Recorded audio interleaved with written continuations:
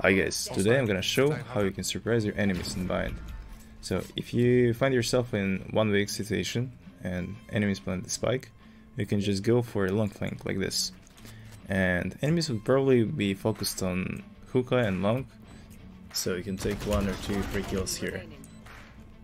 If played correctly, you can take round you should never take. What do you guys think about this trick? Leave your opinion in comments below. Hit like and subscribe button if you want to see more tricks like this.